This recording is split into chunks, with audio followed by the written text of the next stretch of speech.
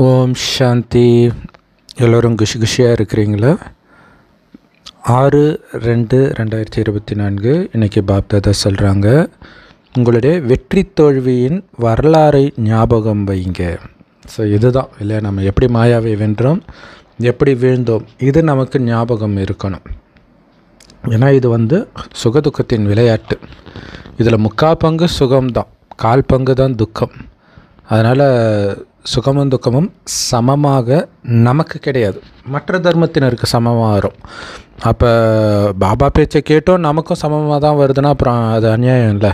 அதனால் நமக்கு முக்கால் பங்கு சுகம்தான் அதான் இந்த கால் பங்கும் கொஞ்சம் தான் துக்கன்றார். கேள்வி. இந்த எல்லையற்ற நாடகம் எப்படி மிக மிக அற்புதமானது தெரியுமா? எப்படின்னா இந்த ஒட்டுமொத்த உலகத்திலையும் ஒவ்வொரு வினாடியும் என்ன நடக்குதோ அது அப்படியே துல்லியமாக திரும்பி நடக்குது அடுத்த கல்பத்தில். ஒரு பேன் மாதிரி பொறுமையாக டிக் டிக் டிக்குன்னு நகர்ந்து போயிட்டு இருக்குது இந்த நாடகம். ஒரு டிக்கு மாதிரி அடுத்த டிக்கு இருக்காதுன்றார். அப்படின்னா என்ன அர்த்தம்னா ஒரு நொடி மாதிரி அடுத்த நொடி இந்த நாடகத்தில் எப்போவுமே இருக்காது. அதனால தான் மிக அற்புதமான நாடகம். இப்போ ஐயாயிரம் வருஷத்தில் ஒரு இடத்துல கூட ரிப்பீட் ஆகலைன்றார். ஒரு செகண்டு கூட ரிப்பீட் ஆகலைன்றார். அது அப்படியே அடுத்த கல்பத்தில் ரிப்பீட் ஆகுமே தவிர ஒரே கல்பத்தில் ரெண்டு தடவை ஒரே மாதிரி நாடகமோ அல்லது ஒருத்தருடைய நடிப்போ ரிப்பீட் ஆகாது. ஸோ மனிதர்கள் நல்ல நடிப்பு நடித்தாலும் கெட்ட நடிப்பு நடித்தாலும் அது ஏற்கனவே நிச்சயிக்கப்பட்டதை அப்படியே நடிப்பாங்க அப்படிங்கிற ரகசியத்தை குழந்தைகளாகிய நாம் மட்டும்தான் புரிஞ்சிருக்கிறோம். ஓம் சாந்தி. அதோடைய அர்த்தம் என்ன? ஓம்னா ஆத்மா என்னுடைய சுயதர்மம் அமைதி அப்படின்னு அர்த்தம். ஸோ ஆத்ம உணர்வுடையவராக ஆகிறதுனால நமக்கு இது புரியுது. ஸோ ஆத்மான்ற உணர்வும் என்னுடைய உண்மையான குணம் அமைதின்றதும் சதா மைண்டில் ஓடிக்கிட்டே இருக்கணும். அனைத்து ஆத்மாக்களும் இப்போ வீட்டுக்கு போக வேண்டிய நிச்சயத்தில் இருக்கிறாங்க. ஸோ யார் இந்த விஷயத்தை நமக்கு சொல்கிறார் இல்லை இப்போ இந்த நாடகத்தோடைய அடுத்த கட்டம் வீட்டுக்கு போக வேண்டியது தான் அப்படிங்கிற ரகசியத்தை கண்டிப்பாக பாபா தான் சொல்ல முடியும். ஏன் வீட்டுக்கு போகணும்? ஏ ஆத்மாக்களே பழைய உலகம் அழிய போகுது. அதனால் வீட்டுக்கு போகணும். எலான் மஸ்க்கு அவர் வந்து உலகம் அழிய போகுது அப்படிங்கிறத அவரும் கணிக்கிறார். அப்போ மனிதர்களெல்லாம் காப்பாற்றணும் நம்ம வந்து செவ்வாய் கிரகத்துக்கு எடுத்துகிட்டு போகணும். அதுக்காக அவர் வந்து ஏவுகணை தயாரிக்கிறார். இங்கேருந்து வேறு கிரகத்துக்கு எடுத்துகிட்டு போகிறதுக்கு அவர் என்ன கடவுளா? கடவுள் தான் காப்பாற்ற முடியும் இல்லையா? இன்னொன்று வாழக்கூடிய இடம் இந்த ஒரு இடம் தான் நடிப்பு இங்கே மட்டும்தான் நடக்குது. ஸோ ஆத்மா தூய்மையாகி போகணும். அந்த வேலையை கடவுள் தான் பண்ண முடியும் மனிதர்கள் பண்ண முடியாது. ஆனால் ஆல்மோஸ்ட் இப்போ எல்லாருமே ஒரு முடிவுக்கு வராங்க. இந்த உலகம் அழிய போகுதுன்ட்டு. எல்லா நடிகர்களும் இங்கே வந்தாச்சு. இன்னும் கொஞ்சம் ஆத்மா மேலே பரந்தாமத்தில் இருக்குதுன்னு அப்போ சொல்கிறார் அறுபத்தி ஒம்பதுக்கு முன்னாடி வந்த முரளியில். மேபி இப்போ எல்லோரும் வந்திருக்கலாம். ஆனால் வந்துட்டால் திரும்பி போக ஆரம்பிச்சிடுவாங்கன்னு சொல்கிறார் எல்லோருமே இப்போ திரும்பி போகணும். பிறகு என்ன பாகத்தை ஆரம்பத்துலேருந்து நடிச்சிங்களோ அதை திரும்ப நடிப்பீங்க. ஆதிசநாதன தேவி தேவதா தர்மத்தை சார்ந்தவர்கள் நீங்கள் முதல்ல தங்க யுகத்துக்கு போவீங்க. பிறகு மறுஜன்மம் எடுத்து இப்போ உங்களுக்கு சம்மந்தமே இல்லாத இன்னொருத்தனுடைய ராஜ்யத்தில் வந்து சிக்கிட்டீங்கன்றார் இல்லை உங்களுக்கு உங்களை ராஜாவாக்கி உங்கள் ராஜ்யத்தில் அனுப்பிச்சார் பாபா சத்தியுகத்தில் ஆனால் மறுஜன்மம் எடுத்து எடுத்து எடுத்து இப்போ ராவண ராஜ்யத்தில் அடிமையாக இருக்கிறோம். ராஜாவாக இருந்த நாம். இந்த ரகசியத்தை உங்களை தவிர யாருக்குமே தெரியாது.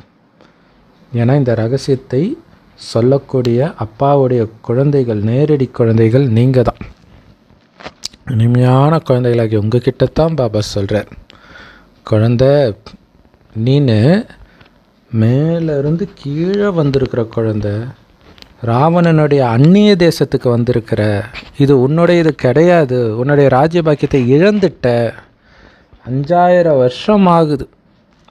இந்த பாரதம் பொன்னுலகமாக இருந்து. அப்போ நீ தேவதை தர்மத்தை சார்ந்தவனாக இருந்த அரை கல்பம் ஆட்சி புரிந்த. ஆனாலும் அப்படியே இருந்துட முடியாது. ஏனிப்படியில் இறங்கி வந்து தான் ஆகணும். அதனால தான் ஐயப்பன் கூடவே படிக்கட்டை காட்டுறாங்க. எல்லாரும் இறங்கி வந்து தான் ஆகணும். அதனால் தங்க யுகத்திலிருந்து வெள்ளி யுகம் துவாபர யுகம் இரும்பு யுகத்துக்கு வரணுன்றத மறந்துடாதீங்க. உங்களுடைய வெற்றி தோல்வியை நீங்கள் ஞாபகம் வச்சுக்கணும். இல்லை ரெண்டுத்துமே. ஆக்சுவலாக நிறைய பேர் என்ன சொல்லுவாங்கன்னா தோல்வி அடைகிறத ஞாபகம் வச்சுக்க வேண்டான்னுவாங்க. சக்கரம் சுற்றும் போது கூட நரகத்தில் கஷ்டப்படுறதுலாம் நினைக்க தேவையில்ல. அப்படியே கோயிலேருந்து சக்தி கொடுக்கறது. அது அஞ்சு சொரூபம். ஆனால் அது அஞ்சு சொரூபம் தனி. பட் இருந்தாலும் இந்த கஷ்டப்படுறதும் முக்கியம். அப்போ தானே ஏன் கஷ்டப்பட்டோம்? அந்த தப்பு நம்ம பண்ண மாட்டோம் பண்ணக்கூடாதுன்னு தோணும். ஸோ அதனால தான் பாபா சொல்கிறார் வெற்றியும் நினைவு செய்யுங்க தோல்வியும் நினைவு செய்யுங்க.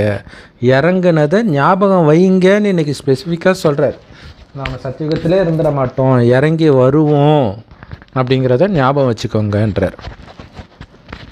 தங்க யுகத்தில் நாம் சதோப்பிரதான தேவதைகளாக சுகதாமத்தில் சுகமாக இருந்தோம். பிறகு மறுஜன்மம் எடுத்து எடுத்து முற்றிலும் உளுத்து போன தமோப்பிரதான நிலைக்கு இந்த துக்கதாமத்தில் வந்து சேர்ந்துருக்குறோம். இப்போ மீண்டும் அந்த சொர்க்கத்திற்கு போகிறதுக்கான மிக உயர்ந்த வழியை கொடுப்பதற்காகவே பாபா வந்திருக்கிறார். ஏன்னா ஆத்மாக்களாகிய நாம தான் பரமாத்மா கிட்ட வந்து வெகு காலமாக பிரிஞ்சிருக்கிறோம். இப்போ முதல்ல பாபா கிட்ட நம்ம தான் வந்து சேர்றோம். ஆனால் பிரியறதும் நம்ம தான் ஃபஸ்ட்டு பிரிஞ்சிடும் பரந்தாமத்துக்கு போனோடனே டக்குன்னு வந்துடும் மற்ற தர்மத்து ஆத்மாக்கள் அரைக்கல்பம் கழிச்சு தான் வராங்க. ஸோ அரைக்கல்பமாக அவங்க பாபா கிட்ட தான் இருக்கிறாங்க. நாம் தான் வெகு காலமாக பிரிஞ்சு இருக்கிறோம் பிறகு அங்கேருந்து வந்தோடனே சுகத்தின் பாகத்தை நடிக்கிறோம். பிறகு நம்மளுடைய ராஜ்ய பாக்கியம் அபகரிக்கப்படுது ராவணனால். பிறகு துக்கத்தின் பாகத்தை நடிக்கிறோம். ஸோ ராமாயணம் மகாபாரதம் ஹரிச்சந்திரன் கதை எல்லாமே அப்படி தானே சுகமாக போயிட்டே இருக்கும். பாதிக்கு மேலே துக்கமாக இருக்கும். ஏன் துக்கமாயிடுச்சு ராவணன் அபகரிச்சிட்டான் சுகமான ராஜ்யத்தை. இப்போ அந்த சுகம் சாந்தி நிரம்பிய ராஜ்ய பாக்கியத்தை மீண்டும் நாம் அடையணும் அப்படின்னு பாபா சொல்கிறார் ஆத்மாக்கள் எல்லாருமே உலகத்தில் அமைதி வேணும் அமைதி வேணும்னு சொல்கிறாங்க ஆனால் இப்போ உலகமே தமோ பிரதானமாக இருக்குது. அப்போ எப்படி அமைதி இருக்கும்? சதோ பிரதானமாக இருந்தால் தானே அமைதி இருக்கும். அதனால தான் தமோ பிரதான உலகத்தில் அசாந்தி தான் இருக்குது. இது அமைதி மற்றும் அமைதியின்மை சுகம் மற்றும் துக்கத்தின் விளையாட்டு. அஞ்சாயிரம் வருஷத்துக்கு முன்னாடி அமைதி இருந்தது.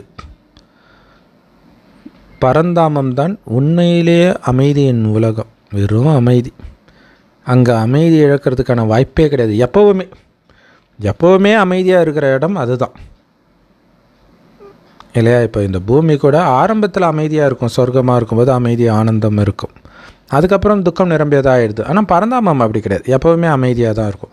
அதனால தான் என்னை கூட்டுட்டு போ என்னை கூட்டுட்டு போப்பா அப்படின்ட்டு கடவுளை வேண்டும். துக்கம் தாங்கலன்னா. ஏன்னா அங்கே தான் அமைதி கிடைக்கும். ஸோ அங்கே ஆத்மாக்கள் வசிக்கிற இடத்துல அமைதி இல்லைன்ற பேச்சுக்கே இடம் கிடையாது. தங்க அதனால தான் பாபா இங்கே இருக்கும்போதெல்லாம் புத்தினால் அங்கேயே இருங்கன்றார். அப்போ தான் அந்த அந்த அமைதியில் நிரந்தரமாக இந்த கலியுகத்திலே நாம் இருக்க முடியுன்றார். கலியுகத்தில் இருந்துக்கிட்டே நம்மளால் பரந்தாமத்தின் அமைதியை அனுபவம் பண்ண முடியுன்ற தங்க யுகத்தில் அமைதி இருந்தது உலகம் முழுவதும். பிறகு நாம் விழ ஆரம்பிக்கிறோம் இல்லையா? துவாபரோகத்திலிருந்து விகாரத்தில் விழும்போது தான் அமைதியின்மை உருவாகுது. ஒவ்வொருத்தருமே இந்த உலகத்தில் அமைதி வேணும் அப்படின்னு விரும்புகிறாங்க பிரம்ம மகா தத்துவத்தை வந்து உலகம்னு சொல்ல முடியாது. அது வந்து எப்பயும் அமைதியாக தான் இருக்கும். பிரம்ம மகா தத்துவன்றது பரந்தாமம். அதை பிரம்மாண்டம்னும் சொல்லலாம். அங்கே தான் ஆத்மாக்கள் வசிக்குது. ஆத்மாக்களுடைய உண்மையான தர்மமே அமைதி தான் அதுதான் ஆத்மாக்களுடைய சுயதர்மம். அமைதி. அப்போ ஆத்மான்றதை தவிர வேறு எதுவும் ஞாபகம் இல்லைனாலே நீங்கள் அமைதியாக தான் இருப்பீங்க. அதுதான் கர்மாதித்த நிலை. அந்த நிலையை எடுத்துகிட்டு வரார் எப்போ? அசாந்தியின் உச்சத்தில் கர்மாதித்த நிலை நாம் அடையிறோம். சுற்றி அசாந்தி ஆனால் நீங்கள் அமைதியின் உச்சத்தில் இருப்பீங்க. ஆத்மா உடம்பை விட்டு பிரிஞ்சிட்டா அது அமைதியாகிடுது பிறகு இன்னொரு உடம்பை எடுக்கும்போது தான் அது சத்தம் நகரெல்லாம் செய்யுது சத்தம் போடுது. குழந்தைகளாகிய நீங்கள் எதுக்கு பாபா கிட்ட வந்து இருக்கிறீங்க பாபா எங்களை வந்து அமைதி நிரம்பிய பரந்தாமத்துக்கும் சுகம் நிரம்பிய சொர்க்கத்துக்கும் அழைச்சிட்டு போங்கன்னு சொல்கிறீங்க அதுக்கு தான் வந்திருக்கிறீங்க இல்லையா? மற்றபடி அந்த பரந்தாமம்னு சொல்லப்படுற சாந்தி தாமம் அல்லது முக்தி தாமத்தில் சுகத்துக்கோ அல்லது துக துக்கத்துக்கான விஷயமோ கிடையாது. ஏன்னா அங்கே உடம்பு கிடையாது. உடம்பு இருந்தால் தான் சுகத்தையும் துக்கத்தையும் அனுபவிக்க முடியும். தங்க யுகத்தை தான் சுகதாமம் அப்படின்னும் இந்த இரும்பு யுகம் கலியுகத்தை துக்கதாமம்னும் சொல்லப்படுது. நீங்கள் எப்படி அந்த சொர்க்கத்திலிருந்து கொஞ்சம் கொஞ்சமாக இறங்கி கலியுகத்துக்கு வந்தீங்கன்றது ஏணிப்படி சித்திரத்தில் அழகாக காட்டப்பட்டு இருக்குது நீங்கள் ஏணியில் இறங்குறீங்க ஐயாயிரம் வருஷம் ஆகுது இறங்குறதுக்கு. ஆனால் இந்த கடைசி நூறு வருடத்தில் ஒரேடியாக எகிரி மேலே போய் உட்காந்துக்கிறீங்க சத்தியுகத்தில். இது ஒரு ஐயப்பன் மாதிரி. இல்லை ஐயப்பன் ஜம்முன்னு மேலே ஏறி குதித்து உட்காந்துக்கிட்ட மாதிரி தானே இருக்குது அது படிக்கட்டுக்கு மேலே. ஸோ அது எப்போ? சங்கம யுகத்தில். எப்படி நீங்கள் மேலே ஏறுறீங்க? தூய்மை ஆகுறதன் மூலம். வேறு ஒன்றும் கிடையாது. படிக்கட்டு மேலே ஏறுற விஷயம் கிடையாது. தூய்மை ஆகுறதன் மூலம் ஏறுறீங்க. எப்படி தூய்மை ஆவீங்க? பாபா நினைவிலே இருக்கிறதன் மூலமாக. ஸோ எப்படி இறங்குறீங்க? தூய்மையை இழக்க இழக்க அழுக்க ஆக ஆக இறங்கிக்கிட்டே இருக்கிறோம். தூய்மை ஆகாமல் உங்களால் அந்த படிக்கட்டில் ஏற முடியாது. இல்லை பக்தி மார்க்கத்தின் அந்த மலை மேலே ஏறுறதுக்கே தற்காலிகமாக விரதம் இருந்து தூய்மையாக இருந்து தான் ஏறுறாங்க சபரிமலைக்கெலாம் அப்படி தானே போகிறாங்க இது சூக்ஷமமாக நீங்கள் மேலே ஏறணும். சத்தியுகத்துக்கு போகிற அளவுக்கு ஆத்ம தூய்மை ஆகணும் அப்போ தான் மேலே ஏற முடியும். அப்படி தூய்மை ஆக்கிறதுக்கு தான் பாபா வந்து எங்களை தூய்மையாக்குங்கன்னு கூப்பிட்டீங்க. ஸோ முதல்ல தூய்மையான சாந்தி தாமத்துக்கு போவீங்க. பிறகு சுகதாமத்துக்கு போவீங்க. ஸோ சாந்தி தாமன்றது பரந்தாமத்துடைய இன்னொரு பேர். சுகதாமன்றது சொர்க்கத்துடைய இன்னொரு பேர். ஸோ ஆரம்பத்தில் இந்த பூமியில் சுகம்தான் இருக்கும். சொர்க்கமாக இருக்கும்போது. பிறகு நரக்கமாக மாறும்போது தான் துக்கம் வருது. அளவற்ற சுகம் இருக்கும். ஆக்சுவலாக சுகத்துடைய அளவு அதிகமாக இருக்கும் உங்களுக்கு இந்த பூமியில் துக்கத்தை விட. ஏன்னா ஒருவேளை சுகமும் துக்கமும் சமமாக இருந்தால் அதில் எந்த யூஸும் கிடையாது. இவ்வளோ கஷ்டப்பட்டு முயற்சி பண்ண வேண்டியது இல்லை. ஏன்னா இப்போ இந்த முயற்சியை பண்ணாதவர்களுக்குமே சுகதுக்கம் பாதி பாதியாக தானே இருக்குது. அதனால தான் பாபா சொல்கிறார் ஏற்கனவே நிச்சயிக்கப்பட்ட இந்த நாடகத்தில் என்னுடைய பேச்சை கேட்டு தூய்மையாகிற என்னுடைய செல்லமான குழந்தைங்களுக்கு முக்கா பங்கு சுகம்தான். கால் பங்கு தான் கொஞ்சம் துக்கம் இருக்கும்ன்றார். அதனால தான் இது பேர் சுகதுக்கத்தின் விளையாட்டு. குழந்தைகளாகிய உங்களை தவிர வேறு யாருக்கும் கடவுளை தெரிஞ்சிக்கவே முடியாதுன்னே பாபாவுக்கு தெரியும். நான் தான் உங்களுக்கு என்னுடைய அறிமுகத்தையும் கொடுத்து இந்த உலகத்துடைய முதலிடை கடை பற்றிய அறிமுகத்தையும் கொடுக்கிறேன் இதன் மூலமாக தான் நாஸ்திகனாக இருந்த நீங்கள் இப்போ ஆஸ்திகர்களாக ஆகியிருக்கிறீங்க. அது மட்டும் இல்லை மூன்று உலகங்களை பற்றியும் உங்களுக்கு தெரியும். பரந்தாமத்தில் ஆத்மா வசிக்கும். அங்கே சத்தமே இருக்காது. பிறகு அதுக்கு கீழே சுக்ஷ்மோதனத்தில் சுக்ஷ்மோதனவாசிகள் இருப்பாங்க. அங்கே சைகை மட்டும்தான் இருக்கும். அடுத்தது இந்த ஸ்தூல உலகத்தில் தான் ஐந்தாயிரம் வருட காலச்சக்கரம் நடக்குது. ஆரம்பத்தில் சுகமாகவும் பிறகு துக்கமாகவும் இருக்குது. பாரதவாசிகளுக்கு இந்த காலச்சக்கரம் ஒரு கல்பத்தின் ஆயுள் ஐநூறு ஐயாயிரம் வருடம்னு கூட தெரியாது. லட்சக்கணக்கான வருடங்கள்னு நினச்சிட்டாங்க. பாபாவே வந்து மீண்டும் நமக்கு இந்த சத்திய ஞானத்தை போதிக்கிறார்ன்ற விஷயமே குழந்தைகளாகிய உங்களுக்கு மட்டும்தான் தெரியும். பாபா குப்தமாக அந்நிய தேசத்தில் ராவண தேசத்தில் வந்திருக்கிறார். அதாவது குப்தமான உடம்புல வரார் கடவுள் வந்ததுக்கான எந்த மாற்றமும் பிரம்மா உடம்புல இருக்காது. இல்லையா? அதே ட்ரெஸ்ஸு பட்டை ருத்ராட்ச கொட்டை எதுவும் பண்ணலை. எப்பயும் என்ன வெள்ளை ட்ரெஸ் போடுவாரோ அதே தான் போட்டிருந்தார். பாபாவும் மறைமுகமாக குப்தமாக இருக்கிறார். மனிதர்களுக்கு தங்களுடைய உடலை பற்றி தான் தெரியும். ஸ்தூலமான உடலைத்தான் தெரியுமே தவிர அதை இயக்கக்கூடிய சூக்ஷ்மமான ஆத்மாக்களை பற்றி தெரியாது. அந்த ஞானத்தை பாபா தான் கொடுக்கிறார். ஒவ்வொரு ஆத்மாவும் அழிவற்றது. அது எடுக்கிற உடல் தான் அழியக்கூடியது. அதனால் அழிவற்ற ஆத்மா நான் அப்படிங்கிறதையும் நீங்கள் ஒருபொழுதும் மறக்கக்கூடாது. அந்த அழிவற்ற ஆத்மாக்களின் தந்தை பரமாத்மாவையும் நாம் ஒருபொழுதும் நினைக்க மறக்கக்கூடாது. இதுதான் ஞானம். இல்லை ஆத்மாவையும் பரமாத்மாவையும் சதா ஞாபகம் வச்சுக்கணும். நாம் எல்லையற்ற தந்தைக்கிட்ட இருந்து எல்லையற்ற ஆஸ்தியை அடையிறோம். நம்முடைய ஆஸ்தியை அடையிறோம். ஆனால் அது எப்போ அடைய முடியும்? தூய்மை ஆனால் தான் அடைய முடியும். அப்போ அதுதான் இந்த ஞானப்பழம் கதை. பிள்ளையார் தான் அடைகிறார் முருகன் அடையலை. ஏன் அடையலை? முருகன் உலகம் ஃபுல்லாக சுற்றிட்டு இருக்கிறார். பிள்ளையார் பாபாவே கதின்னு இருக்கிறார். அதனால் அவர் தூய்மையாகிறார். அதனால் ஞானப்பழம் கிடைக்கிது. ஞானத்தின் பலனாகிய சொர்க்கம் கிடைக்கிது. இந்த ராவண ராஜ்யத்தில் நீங்கள் அழுக்காக இருக்கிறீங்க. அதனால தான் எங்களை தூய்மையாக்குங்கன்னு தூய்மையாக்கும் பாபாவை கூப்பிட்டுருக்கிறீங்க. இப்போ உங்களுக்கு ரெண்டு அப்பா.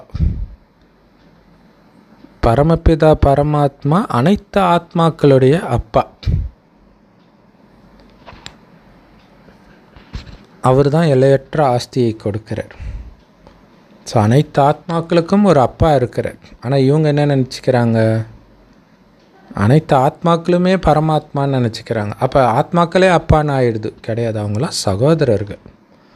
ஸோ இப்படி தப்பு தப்பாக ஞானத்தை சொல்லி நம்ம தர்மத்துக்கு நிந்தனை எப்போ பாரதத்தில் ஏற்படுதோ எப்போ அந்த பரலௌகிக தந்தை அனைத்து தர்மத்தின் பிதா பரமபிதாவை எல்லாரும் மறக்கிறாங்களோ அப்போத்தான் பாபா வரர். இதுவும் நாடகத்தில் நிச்சயிக்கப்பட்டிருக்குது. என்னென்னலாம் நாடகத்தில் நடக்குதோ அது திரும்ப திரும்ப நடக்கும். ஆத்மாக்களாகிய நாம் நம்முடைய பாகத்தை நடிக்கிறதுக்காக வரும் திரும்ப போகிறோம் திரும்ப வரும் திரும்ப போகிறோம் இப்படியே தொடர்ந்து நடந்துக்கிட்டே இருக்குது. வரோம் நடிக்கிறோம் மறுபடியும் பரந்தாமத்துக்கு போகிறோம் மறுபடியும் வரோம் நடிக்கிறோம் மறுபடியும் பரந்தாமத்துக்கு போகிறோம் எண்ணற்ற முறை இது நடக்குது. இந்த நாடகம் பேன் ஊர்ந்து போகிற மாதிரி பொறுமையாக நவருது. அதுக்கு ஒரு முடிவே கிடையாது. கடிகாரம் இப்படி டிக் டிக் டிக்குன்னு போகுது. அந்த மாதிரி போயிட்டே இருக்குது. ஒரு டிக்கு மாதிரி இன்னொரு டிக்கு இருக்காது. அது ஒரு வினாடி மாதிரி இன்னொரு வினாடி இருக்காது. அவ்வளோ அற்புதமான நாடகம். வினாடிக்கு வினாடி என்னெல்லாம் இந்த உலகத்தில் நடக்குதோ அத்தனையும் அப்படியே துல்லியமாக நடக்கும். ஒவ்வொரு தர்மத்துடைய முக்கியமான நடிகர்களும் காட்டப்பட்டிருக்குது படத்தில். அவங்க தங்களுடைய தர்மத்தை தான் ஸ்தாபனை செஞ்சாங்க. ஒன்றும் ராஜ்யத்தை அவங்க ஸ்தாபனை பண்ணலை. பரமபிதா பரமாத்மா மட்டும்தான் ஆதிசநாதன தேவி தேவதா தர்மத்தையும் ஸ்தாபனை பண்ணுறாரு நம்முடைய தேவதைகளின் ராஜ்யத்தையும் ஸ்தாபனை பண்ணுறார் சந்திர சூரிய வம்சத்தையும் ஸ்தாபனை பண்ணுற மற்றபடி தர்மஸ்தாபகர்கள் வராங்க. அந்த மதத்தை ஸ்தாபனை பண்ணுறாங்க பிறகு அந்த தர்மத்தை சார்ந்த ஆத்மாக்கள் பரந்தாமத்துலேருந்து பின்னாடி தான் வருது. இவங்க தர்மத்தை ஸ்தாபனை கிரு கிறிஸ்து வந்து கிறிஸ்தவ தர்மத்தை ஸ்தாபனை பண்ண பிறகு தான் கிறிஸ்து ஆத்மாவே மேலேருந்தே வருது. அப்போ இந்த தர்மத்தை ஸ்தாபனை பண்ணதுக்கும் கிறிஸ்தவர்கள் மேலேருந்து வர்றதுக்கும் சம்பந்தம் இல்லை இல்லையா? ஏன்னா இவங்க தர்மத்தை ஸ்தாபனை பண்ணதுனால அந்த மேல்நிலையை அவங்க அடையலை. கடைசியில் வந்து யார் கீழே அடித்து உதச்சி இட்டுட்டு போனாங்களோ கடைசி நேரத்தில் அவங்க தான் அந்த மேல்நிலைக்கு அழைச்சிட்டு போனாங்க. அது யார்? பாபா தான் வந்து எல்லோரையும் அழைச்சிட்டு போகிறார் சிலர் சும்மா ஓரிரு பிறவி மட்டும் எடுக்கிறாங்க. இந்த ஈசல் கூட்டம் மாதிரி. இல்லையா மழை பெய்யும்போது ஈசல் திடீர்னு எங்கேருந்து தான் வரும்னே தெரியாது. காலையில் பார்த்தா எல்லாம் செத்து கிடக்கும். ஸோ அப்போ அவங்களுடைய வாழ்க்கை வந்து எந்த விதமான முக்கியத்துவமும் இல்லாத மாதிரி அப்படின்னு பாபா சொல்கிறார் அதனால் நம்முடைய கவனம் அந்த மாதிரி பிரபலமான மனிதர்கள் பின்னாடி கிடையாது. அவங்களும் ஜஸ்ட் இப்போ தான் பிறவியே எடுத்திருப்பாங்க. இப்போ இருக்கக்கூடிய பிரபலங்கள்லாம். நம்முடைய கவனம் எங்கே? ஐயாயிரம் வருஷத்துக்கு முன்னாடி நம்மளை அழைச்சிட்டு போகிறாரு அந்த படைப்பவர். அவர்கிட்ட தான் நம்மளுடைய கவனம் இருக்குது. அவரைத்தான் பரமபிதா பரமாத்மான்னு எல்லோரும் கூப்பிடுறாங்க. அனைத்து ஆத்மாக்களின் தந்தையாக அவர் தான் இருக்கிறார். முதலில் ஆதிசநாதன தேவதா தர்மம் தான் இந்த பூமியில் இருக்கும். இது மிகப்பெரிய எல்லையற்ற மரம். நிறைய கருத்துக்கள் இருக்குது.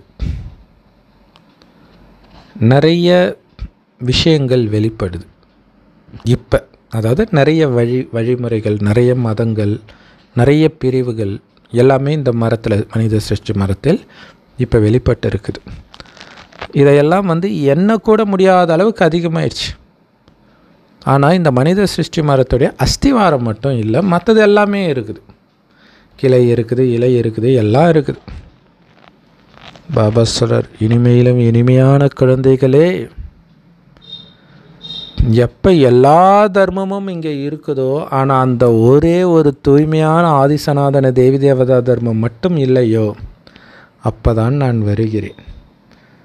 அஸ்திவாரம் போயிடுச்சு. ஆனால் அவங்க இருந்ததுக்கான நினைவு சின்னங்கள் மட்டும் கோயிலில் சிலைகளாக இருக்குது. ஸோ ஒரே ஒரு ஆதிசநாதன தேவி தேவதா தர்மம் மட்டும்தான் அரை கல்பம் இந்த பூமியை ஆண்டது. மற்றவர்கள்லாம் அடுத்த அரை கல்பம் தான் வந்தாங்க.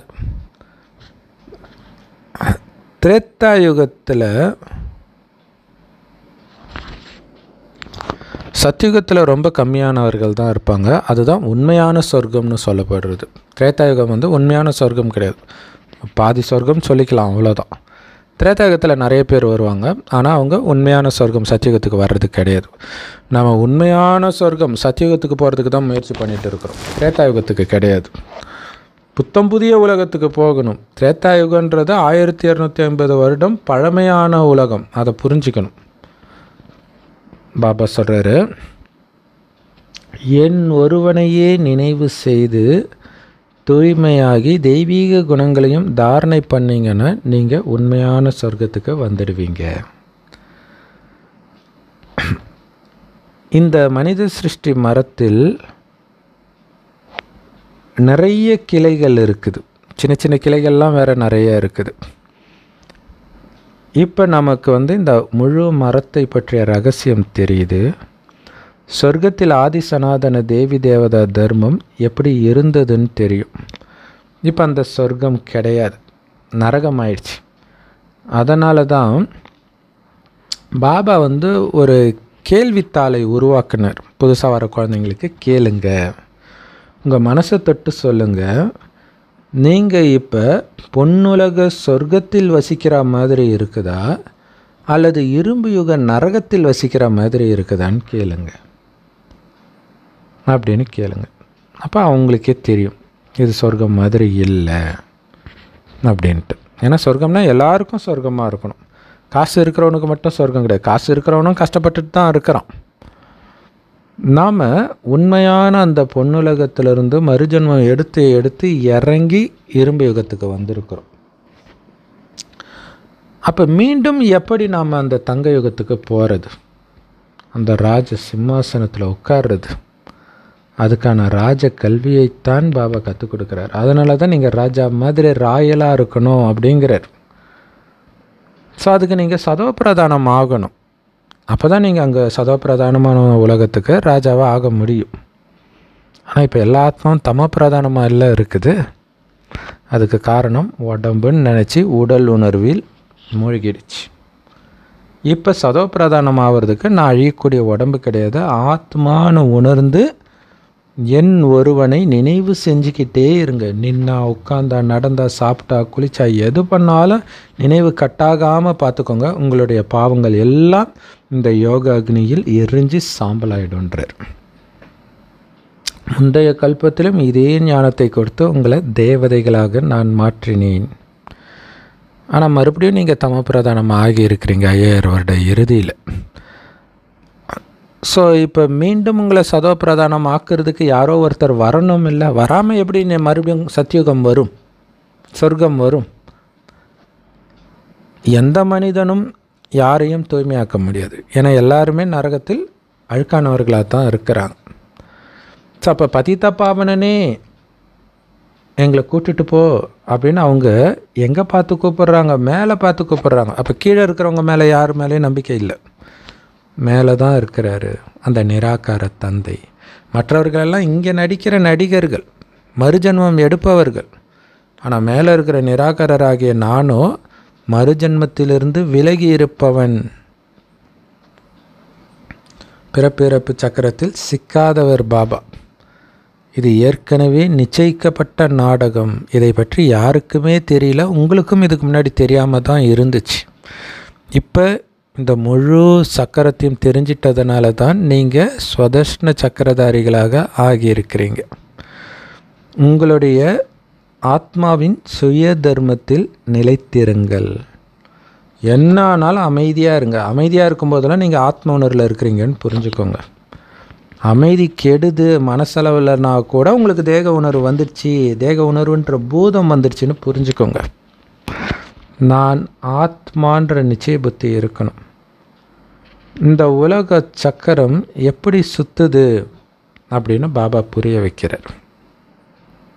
அதனால தான் உங்களை வந்து ஸ்வதர்ஷ்ண சக்கரதாரி அப்படின்னு சொல்லப்படுது. ஏ, உலகம் எப்படி சுத்துதுன்னு சொல்லி அதை சதா மைண்டில் சுற்றிக்கிட்டே இருங்க. இதன் மூலமாக தான் மாயையிலேருந்து வெளியில் வரீங்க. வெளி உலக விஷயத்துலேருந்து வெளியில் வரீங்க. இதை சுத்த சுத்த தான் மனசு எப்படி எப்படியே லேசாகுதுன்றது உங்களுக்கு தெரியும். ஆனால் இந்த அற்புதமான ஞானம் உங்களை தவிர யாருக்கிட்டேயும் இல்லை. அப்போ உங்களுக்கு எவ்வளவு சந்தோஷம் இருக்கணும். இல்லையா? அந்த சக்கரம் விஷ்ணுவுக்கு அழகே அந்த சக்கரம் தானே பக்தி மார்க்கத்தில். அவர் விஷ்ணுன்றதே சக்கரத்தை வச்சு தான் நீங்கள் கண்டுபிடிப்பீங்க. கோயிலில். அப்போ உங்களுக்கு எவ்வளோ சந்தோஷம் இருக்கணும்? அந்த ஸ்வதர்ஷ்ண சக்கரதாரி உண்மையில் நான் தான். அதை கற்றுக் கொடுக்கக்கூடிய ஆசிரியராக நம்ம சிவ தந்தையே இருக்கிறார்.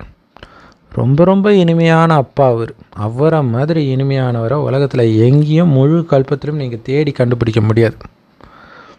அந்த பரலௌகிக்க தந்தையுடைய குழந்தைகளாகிய ஆத்மாக்கள் அந்த பரலோகத்தில் வசிப்பவர்கள் பாபாவோட. பாபாவும் அங்கே தான் வசிக்கிறார். ஸோ ஆத்மாவுடைய இருப்பிடம் அதுதான். லௌகீக தந்தை குழந்தையை பெற்றெடுக்கிறார் பாலனை செய்கிறார். கடைசியில் அந்த குழந்தைக்கு எல்லாத்தையும் கொடுத்துடுறார். ஏன்னா அந்த குழந்தை தானே வாரிசு. அதுதானே நியமம்.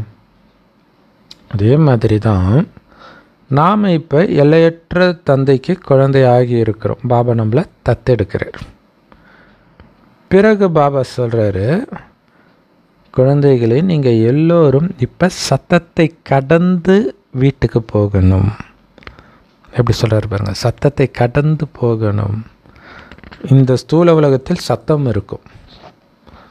ஸோ சத்தமே இல்லாத அப்படியே இனிமையான நிசப்தம்னா அது பரந்தாமம் தான் அதான் நம்ம வீடு. அங்கே போகணும். அங்கே தான் அப்படி ஒரு அமைதி இருக்கும். அதாவது இன்றைக்கி மனிதர்கள் வந்து அமைதியை பிடிக்கல. வீட்டுக்குள்ளே வந்தோடனே டிவியை போட்டுடுறாங்க ஃபோனை நோண்டுறாங்க கத்திக்கிட்டு இருக்கிறாங்க. அமைதியாக இருந்தால் பயமாக இருக்கும். அப்போ ஒரு மனிதனுக்கு பயங்கரமாக டென்ஷன் ஆக ஆக ஆக ஆக என்ன தெரியுமா ஆகும்? சின்ன சத்தம் கூட அவனுக்கு டென்ஷன் ஆகும். அப்போ தான் அவன் அமைதியை தேடுவான். ரொம்ப அந்த சைக்கோ ஆனவங்களுக்குலாம் பார்த்திங்கன்னா சின்ன சவுண்டே அவங்களுக்கு பயங்கரமாக ட்ரிகர் பண்ணும். அந்த மாதிரி நிலை எல்லாரும் கடைசியில் அடையும் பொழுது தான் அமைதியோடைய அருமை தெரியும். அப்போ தான் அவங்களுக்கு முக்தி கொடுத்து அனுப்புவோம் மேலே. ஸோ அந்த சைலன்ஸான உலகம் பறந்தாவும் பிறகு அதுக்கு கீழே சூக்ஷ்மவாதனம் மூவி அதாவது அசைவு மட்டும் இருக்கும். பிறகு அதுக்கு கீழே இந்த ஸ்தூல உலகம் டாக்கி பேச்சு இருக்கும். சில குழந்தைங்க சூக்ஷ்மவாதனத்துக்கு போய் காட்சி பார்க்குறாங்க. அதுக்காக உண்மையிலே ஆத்மா உடம்பை விட்டுட்டெல்லாம் போகிறது கிடையாது. அது காட்சி அவ்வளவுதான். நாடகத்தில் என்ன பதிவாகி இருக்குதோ அது ஒவ்வொரு செகண்டும் நடக்கும். காட்சி கிடைக்கலன்னா நாடகத்தில் உங்களுக்கு காட்சி கிடைக்கிற பங்கு இல்லைன்னு புரிஞ்சுக்கணும். ஆனால் கடைசியில் எல்லாருக்கும் காட்சி கிடைக்கும். அதுவுமே நல்லா முயற்சி பண்ணி இருந்தால் இல்லைன்னா அதுவும் கிடைக்காது. ஒரு செகண்ட் மாதிரி இன்னொரு செகண்ட் இருக்காது. ஒவ்வொரு மனிதனும் என்னென்ன பாகத்தை நடித்தானோ அது நல்ல பாகமாக இருந்தாலும் சரி கெட்ட பாகமாக இருந்தாலும் சரி எல்லாமே ஃபிக்ஸாக இருக்குன்ற தங்க யுகத்தில் பார்த்தாலே கையெடுத்து குமுறா மாதிரி நடித்த அதே மனுஷன்தான் மறுஜன்மம் எடுத்து எடுத்து கலியுகத்தில் நடிக்கிறான் பாருங்க அவ்வளோ கேவலமான நடிப்பு.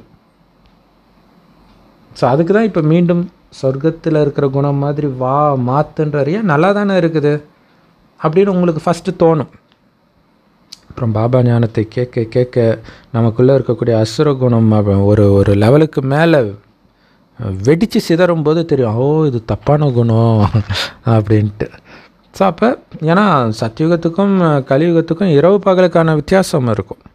உங்களுடைய குணத்தை வந்து செதுக்கணும் நீங்கள் இரும்பு யுகத்தில் இருக்கக்கூடிய மனிதர்கள் எல்லாரும் துக்கம்தான். ஒரு பயத்திலேயே இருக்கிறாங்க. அடுத்தது என்ன ஆகும்? அவ்வளவு துக்கம். ராமராஜ்யத்தில் எந்த விதமான அழுக்கான விஷயங்களும் இருக்காது. இல்லை இந்த காமம் கோபம் குறிப்பாக காமம். இது வரும்பொழுது தான் துக்கமும் சேர்ந்து வருது. இதெல்லாம் ராமராஜ்யத்தில் இருக்காது சொர்க்கத்தில் இருக்காது. ராமராஜ்யமும் ராவணராஜ்யமும் ஒரே நேரத்தில் இருக்காது. ராமராஜ்யம் தூய்மையான சுகம் நிரம்பிய ராஜ்யம். ராவண ராஜ்யம் அழுக்கான துக்கம் நிரம்பிய ராஜ்யம். இது ரெண்டும் ஒரே நேரத்தில் இருக்காதுன்னு தெரியாத காரணத்தினால மனிதர்கள் என்ன பண்ணிடுறாங்க? சுகத்தையும் அவர் தான் கொடுக்குறார் துக்கத்தையும் அவர் தான் கொடுக்குறாருன்னு நினச்சிக்கிறாங்க. இல்லையா? சுகம் நிரம்பிய சொர்க்கத்தைத்தான் அவர் படைக்கிறார். அப்போ சுகத்தை மட்டும்தானே அவர் கொடுக்குறாரு? நரகத்தை நாம தான் உருவாக்குறோம். நமக்குள்ளே இருக்கிற ராவணனுக்கு தீனி போட்டு. யாருக்குமே சிவபாபாவையும் தெரியாது ராவணனையும் தெரியாது. ஆனாலும் சிவபாபாவுடைய பிறந்த நாளை வருடா வருடம் சிவராத்திரின்னு கொண்டாடுறாங்க. ராவணனுடைய இறந்த நாளை தசரானும் வருடா வருடம் கொண்டாடுறாங்க. ஸோ இப்போ தான் பாபா அவரை பற்றிய உண்மையான அறிமுகத்தை கொடுக்கிறார். உங்களை ஆத்மான்னு உணர்ந்து என்னை நினைவு செய்யுங்க. ஆத்மா எப்படி சின்ன ஒளிப்புள்ளியாக இருக்குதோ அதே மாதிரி தான் நானும் செம்பன் நிறமான ஒளி உலகத்தில் நட்சத்திரம் மாதிரி ஜொலிக்கிறேன். செவ்வானத்தில் நட்சத்திரம் மாதிரி என்னை நினைவு பண்ணுங்க. என்னை விட இனிமையானவர் இந்த உலகத்தில் யாருமே கிடையாது. பாபா வந்து அவருடைய மகிமையை அவரே பாடிட்டு இருக்க மாட்டார். ஸோ அப்போ பாபா ரொம்ப இனிமையானவர் அப்படின்னு முரளியில் சொல்கிறாங்க அப்படின்னா அது பிரம்ம பாபா சொன்னதாக இருக்கலாம். ஏன்னா சிவபாபா கிட்டேருந்து யார் ஆஸ்தியை சுகத்தை அடையிறாங்களோ அவங்க தான் அவருடைய மகிமையை பாடுறாங்க பக்தியில் கூட. இப்போவும் சரி. இப்போ நாம் தான் அவருடைய மகிமையை பாடணும். உண்மையான பொய்யான மகிமையை பக்தியில் அவ்வளோ ராகத்தாளத்தோடு பாடுறாங்களே உண்மையான மகிமை நமக்கு தெரிஞ்சிருக்குதுன்னா நாம் எந்த அளவுக்கு அவருடைய மகிமையை பாடணும்? குழந்தைகளுக்கு அந்த தந்தைக்கிட்ட இருந்து ஆஸ்தி கிடைக்கிது. பாபாவோ அன்பின் கடலாக இருக்கிறார். ஸோ அந்த அன்பு கடலில் சங்கமயுகத்தில் மூழ்கினதுடைய விளைவு தான் சத்தியுகம் திரேத்தா யுகத்தில் நாம் மிக மிக அன்பானவர்களாக கடவுளை மாதிரியே மிக மிக இனிமையானவர்களாக இருக்கிறோம் குறிப்பாக சத்தியுகத்தில். ஒருவேளை யாராவது இல்லை சொர்க்கத்தில் கூட விகாரம் இருந்துச்சு காமம் இருந்துச்சு அப்படின்னு சொன்னால் சொல்லுங்கள் அங்கே ராவண ராஜ்யமே கிடையாது. ராவண ராஜ்யத்தில் தான் விகாரம் இருக்கும். ராவண ராஜ்யம் காப்பர் யுகத்தில் இருந்து தான் வருது. ஸோ நமக்கு பாபா எல்லாத்தையும் எவ்வளோ தெளிவாக புரிய வைக்கிறார். உங்களை தவிர யாருக்குமே இந்த உலகத்துடைய வரலாறு புவியியல் தெரியாது. உங்களுக்குமே இந்த சங்கமயுகத்தில் மட்டும்தான் பாபா புரிய வைக்கிறார். பிறகு சத்தியுகத்தில் போய் நீங்கள் தேவதை ஆயிடுறீங்க அந்த தேவதைகளை விட உயர்ந்தவர்கள் யாருமே கிடையாது. அதனால் தேவதைகள் குருவை தேடி போக மாட்டாங்க. இல்லை தன்னை விட உயர்ந்தவரைத்தானே குருவாக வைப்பாங்க. தேவதைகளை விட உயர்ந்தவர்கள் யாருமே கிடையாதே. அதனால் அங்கே குரு பின்னாடிலாம் போக மாட்டாங்க.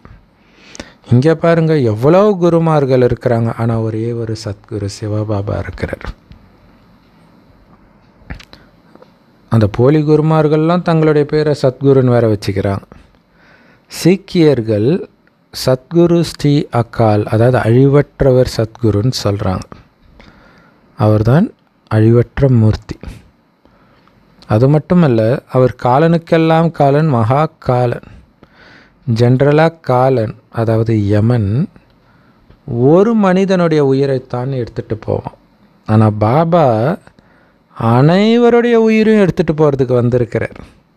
அதனால தான் மகாக்காலன் உங்கள் எல்லோரையும் நான் தூய்மையாக்கி முதலில் உங்களை சாந்தி தாமத்திற்கு அழைச்சிட்டு போகிறேன் பிறகு அங்கேருந்து உங்களை சுகதாமத்துக்கு அனுப்பி வைக்கிறேன் சொர்க்கத்துக்கு. யார் என்னுடையவராகி பிறகு மாயையுடையவராக ஆகுறாங்களோ மாயையில் விழறாங்களோ அவங்களுக்காக தான் சொல்லப்படுது சத்குருவை நிந்தனை செய்பவர்கள் உயர்ந்த பதவி அடையவே முடியாது. அவங்களால சொர்க்கத்தின் முழு சுகத்தை அனுபவம் செய்யவே முடியாது. அப்படின்னு ஆரம்பத்தில் அவங்க வர முடியாது உயர்ந்த பதவியும் அடைய முடியாது. அவங்க பிரஜையில் போயிடுவாங்கன்றார் இல்லையா பாபாவுடைய ஸ்ரீமத்தை ஃபாலோ பண்ணலை விகாரத்தில் விழுறோம் அப்படின்னா பிரஜையில் போயிடுவாங்க. பாபா சொல்கிறாரு என் பேரை கலங்கப்படுத்தாதீங்க குழந்தைகளே. நான் உங்களை சொர்க்கத்தின் எஜமானர்களாக மாத்துறேன். அப்போ நீங்கள் தெய்வீக குணங்களையும் தாரணை பண்ணணும் தானே. நீங்கள் யாருக்கும் ஒரு பொழுதும் துக்கம் கொடுக்கக்கூடாது ஏன்னா சொர்க்கத்துக்கு எஜமானராக்கிறேன். அப்படி ஆக்கக்கூடிய தந்தையுடைய பேரை கெடுக்கிறீங்கன்னு புரிஞ்சுக்கோங்க. நீங்கள் காமவயப்பட்டாலும் சரி கோபப்பட்டாலும் சரி பற்று பேராசை அகங்காரத்தில் ஆடினாலும் சரி. ஸோ அதுக்கு தான் பாபா சொல்கிறார் தெய்வீக குணத்தை தாரணை பண்ணுங்க. சொர்க்கத்துக்கே எஜமான தெய்வீக குணங்கள் நிரம்பிய தேவதைகளுக்கெல்லாம் ராஜாவாக உங்களை ஆக்கிறன்னா நீ துக்கம் கொடுக்கலாமா? அந்த குணம் உனக்கு இருக்கலாமா? அந்த குணத்தை வெட்டி எறின்றார் ஒரு கண்ணத்தை அறிஞ்சால் இன்னொரு கண்ணத்தை காட்டி அரை வாங்க கூட தயாராரு ஆனால் துக்கத்தை கொடுக்காதன்றார் பாபா சொல்கிறாரு நான் உங்களை சுகதாமத்தின் எஜமானர்களாக்கிறதுக்காக வந்திருக்கிறேன். பாபாவோ அன்பின் கடலாக இருக்கிறார். ஆனால் மனிதர்கள் துக்கத்தை கொடுக்கறதுல கடலாக இருக்கிறாங்கன்றார். இல்லையா? அன்பு கொடுக்கறதுல பாபா கடல். ஆனால் மனிதர்கள் இன்றைக்கி எப்படி இருக்கிறாங்க? துக்கம் கொடுக்கறதுல கடலாக இருக்கிறாங்க. இந்தா வாங்கிக்கோ இந்தா வாங்கிக்கோன்ட்டு துக்கம் கொடுத்துக்கிட்டே இருக்கிறாங்க. ஆனால் பாபா என்ன சொல்கிறாரு உங்களை சுகதாமத்தின் எஜமானர் ஆக்குறேன் அப்படின்னா நீங்களும் மாஸ்டர் அன்பு கடலாக மாறணும் தானே. ஸோ துக்கம் கொடுக்கறதுக்கு முக்கியமான காரணமே இந்த காமம் தான் காமத்தில் விழுந்து யாராவது நிம்மதியாக இருந்து பார்த்துருக்குறீங்களா? ஸோ அந்த காலத்தில் வந்து நிம்மதியாக இருந்தாங்க அப்படின்னா அந்த காலத்தில் காமம்லாம் கிடையாது. கர்ப்ப க கர்ப்பத்தடை சாதனம் கிடையாது. அதனால் குழந்தை பெற்றிருக்கிறதுக்கு மட்டும்தான் காமம். அதனால தான் அவங்க நிம்மதியாக இருந்தாங்க. எந்த அளவுக்கு காமம் அதிகமாகுதோ அந்த மயக்கத்துக்கு அடிமையாகிறவங்களோ அந்த அளவுக்கு ஒருவருக்கு ஒருவர் துக்கம் கொடுத்தே தீர்வாங்க. இதுதான் நியமம். காம வாளை செலுத்தி ஒருவருக்கொருவர் துக்கத்தை கொடுத்துட்டு இருக்கிறாங்க இங்கே. சொர்க்கத்தில் இந்த மாதிரி விஷயங்கள்லாம் நடக்காது. அதனால தான் அது ராமராஜ்யம். குழந்தைகள் யோக பலத்தில் அங்கே பிறப்பாங்க.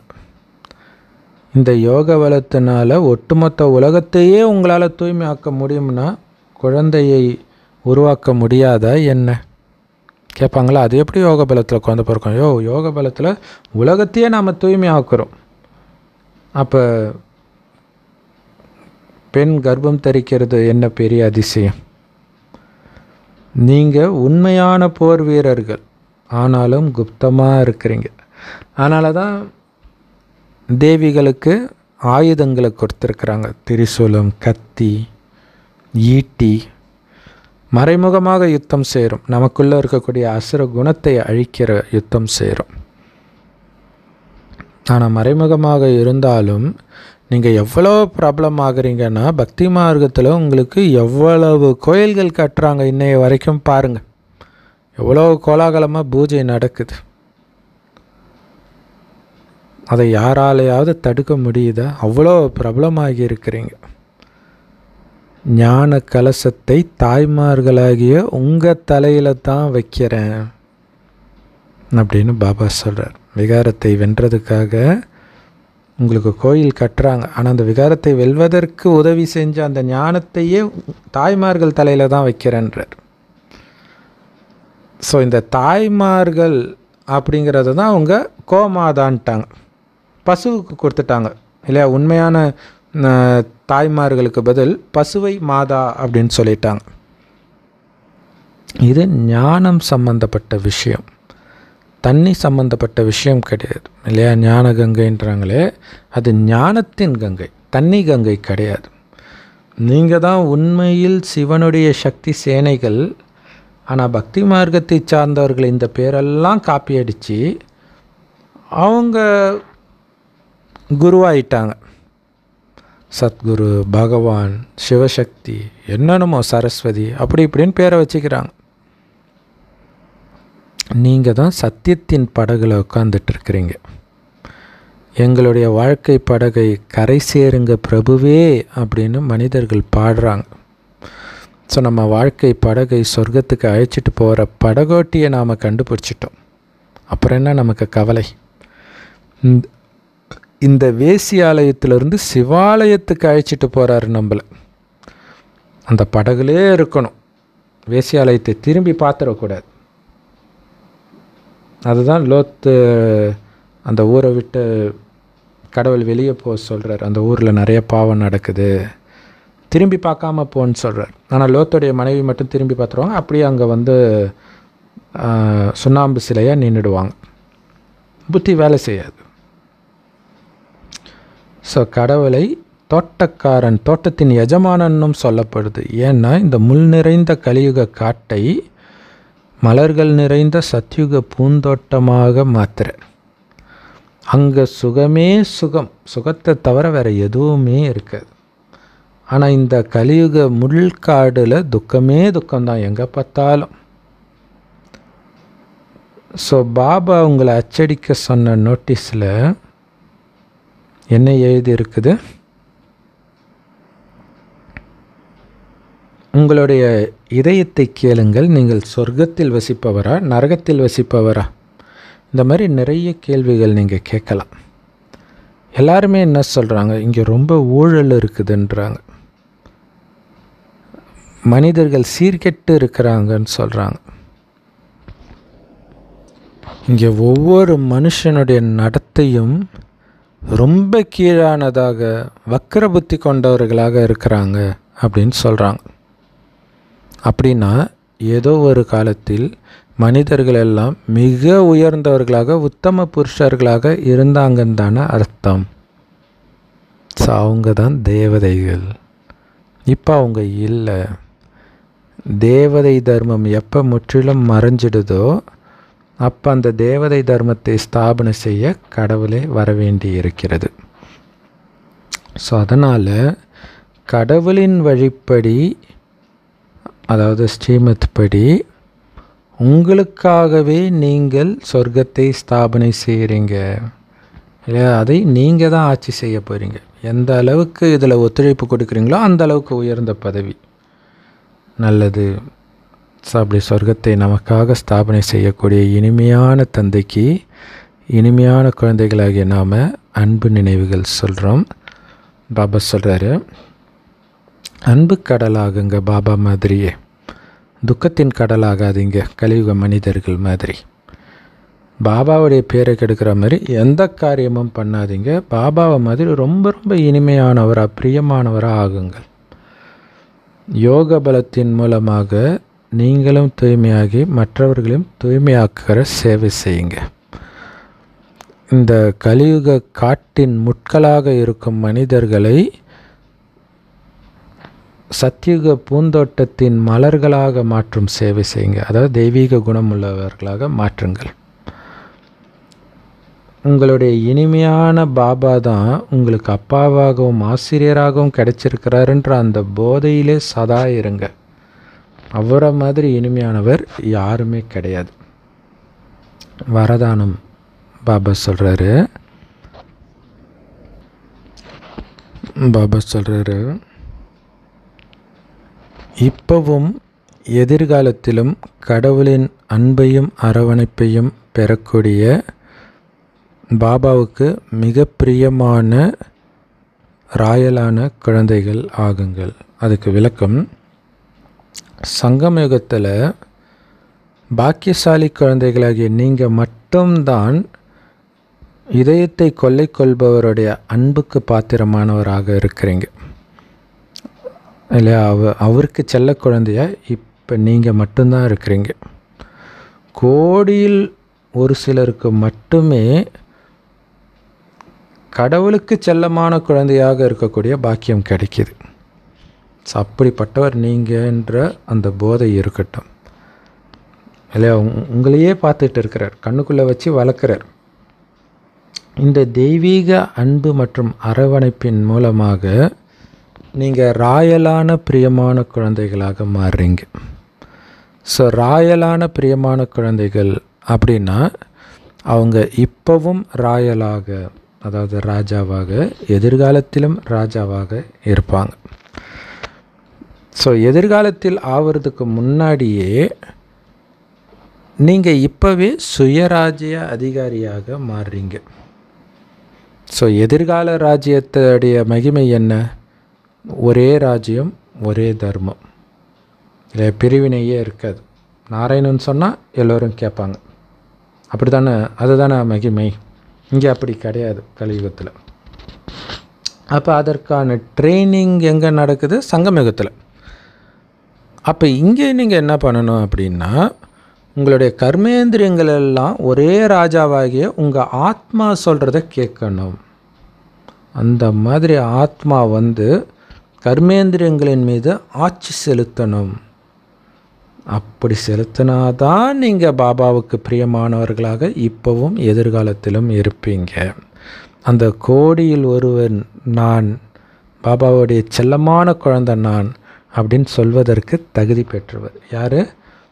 கர்மேந்திரங்களை தன் கட்டுப்பாட்டில் வைத்திருக்கக்கூடிய சுயராஜ்ய அதிகாரி ஆத்மா நான். ஆத்மா சொல்கிறத தான் கர்மேந்திரியம் கேட்கணும். கர்மேந்திரியம் சொல்கிறதெல்லாம் ஆத்மா கேட்கக்கூடாது. ஸோ அப்படி இருந்தால் தான் அதுதான் உண்மையில் ராயல் தன்மை. அப்படி இருக்கணும்.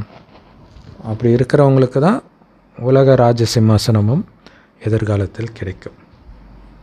ஸ்லோகனில் பாபா சொல்கிறாரு என்னை கண்டவன் பிதாவை கண்டான்ட்டு இயேசு சொல்கிறார் இல்லையா? அந்த மாதிரி யார் அப்பாவுடைய நடத்தையை தன்னுடைய நடத்தை மற்றும் குணத்தை தன்னுடைய முகத்தின் மூலமாகவே வெளிப்படுத்துகிறாங்களோ அவங்க தான் கடவுளால் நேசிக்கப்படக்கூடிய மிகச் செல்லமான குழந்தைங்கன்ற உங்களை பார்த்தா பாபா தெரியணும். ஒவ்வொரு பாபா குழந்தையை பார்க்கும்போதும் கடவுள் தெரியணும். கடவுளுடைய அந்த குணம் தெரியணும். இல்லை அந்த கடவுளுடைய அந்த கனிவான முகம் அப்படியே கோயிலில் போய் அந்த ஃபேமஸான கோயிலெலாம் பார்த்தா அப்படியே அந்த முகத்தை பார்த்துக்கிட்டே இருப்பாங்க. போ போன்னு தள்ளுவாங்க. போ- போக மாட்டாங்க. அப்படியே நிற்பாங்க அப்படியே மெய் மறந்து பார்ப்பாங்களே. என்னத்தை பார்க்குறாங்க? முகத்தை தானே பார்க்குறாங்க. அந்த முகத்தில் அந்த குணம் வருது. உங்கள் உங்கள் முகத்தில் அந்த குணம் இருக்கிறதுடைய நினைவாக தான் உங்கள் சிலையை அப்படியே வடிச்சிருக்கிறாங்க. ஸோ அந்த மாதிரி என்னுடைய முகத்தை பார்த்தால் கடவுளை பார்க்குற உணர்வை நான் ஏற்படுத்தணும். அப்படிங்கிற லட்சியம் வைங்க.